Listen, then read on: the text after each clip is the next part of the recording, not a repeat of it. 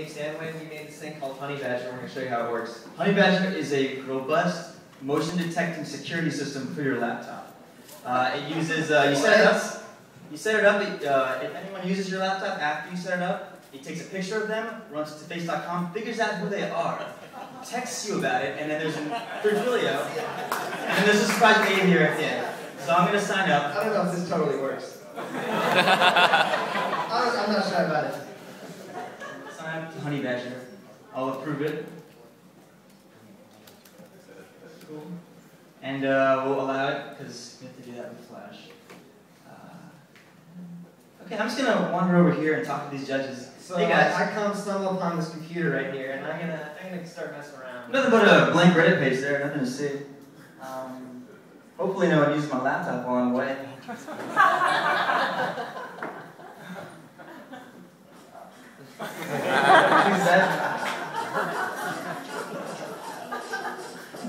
So I'm just hanging out right now.